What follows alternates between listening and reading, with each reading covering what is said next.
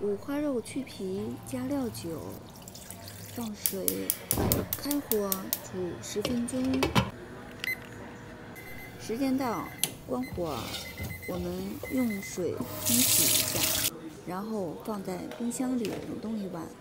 冷冻好拿出来，我们在淘宝买的切肉机，我们收拾一下，清洗一下就可以用了，就是比较麻烦一点，呵呵。这是我们在淘宝上买的，第一次用。我们把肉翻过来，这样看一下，要压得牢一点。新手入门有一点点蒙圈圈，终于能切动了，也还好。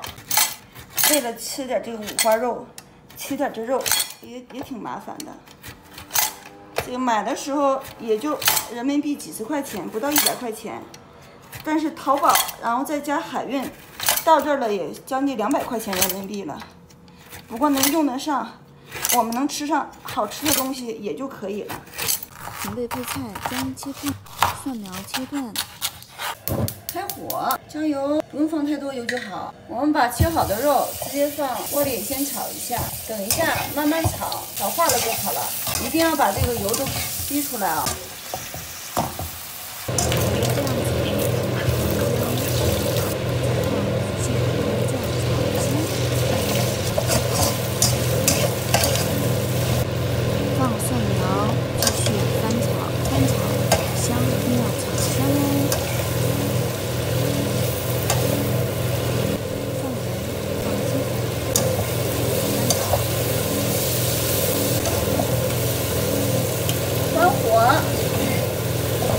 好了，出锅，我们看到了回锅肉，最简单的回锅肉，我们的味道一点都不输饭店里面做的哦。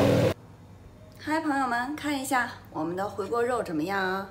真做的很不错啊，味道很好。然后呢，我们选择的是偏瘦一点的肉，真的很不错。看一下，超级超级的嫩哦。嗯。炒的焦焦的，真的很好吃。朋友们有喜欢的吗？有喜欢的可以交错哦，真的很好吃啊，哼哼哼。